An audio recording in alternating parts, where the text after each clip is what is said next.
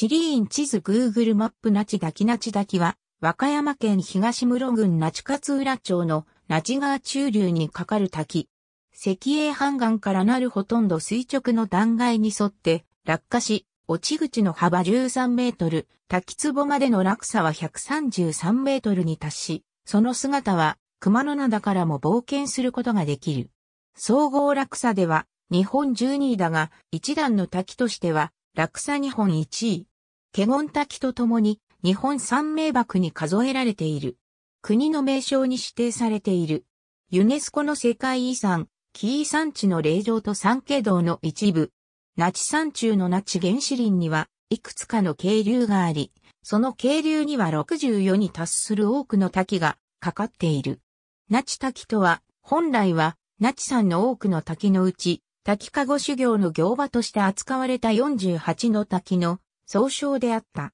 一般に那智滝として知られている滝はこれらのうち、一の滝を指している。その姿は、那智滝図、一辺承認絵伝、熊野那智山系曼荼羅など宗教美術において、たびたび描かれている。那智山一帯は滝に対する自然信仰の聖地であり、一の滝は広尾神社の神体であって、広尾神社の境内に設けられた滝見台からその姿を見ることができる。滝の落ち口の看板に、切れ目があり三筋に分かれて流れ落ちるため三筋の滝ともいい。また、那智の滝の代表するということから、那智の大滝とも呼ばれる。この滝を写した写真のキャプションとして、熊野那智大社と那智滝などのように題して、三重の塔と那智の滝を一枚のフレームに収めたものがある。この名称は、明治期の神仏分離以前において、三重の塔が属する西岸都市と、熊野那智大社が一体のものであった名残である。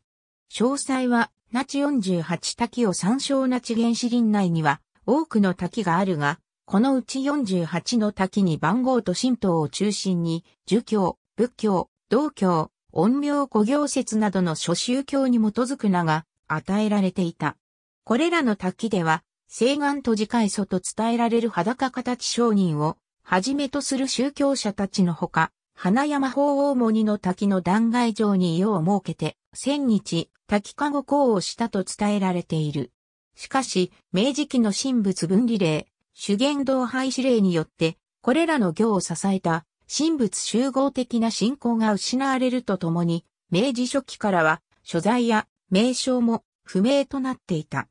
1991年、わずかに残された古文書を手がかりに、地元の有志、新聞社、装飾などが48滝探査プロジェクトを行い、再発見に成功した。また、1992年からは、西岸都市の手によって、那智48滝解放業が再興されている。ありがとうございます。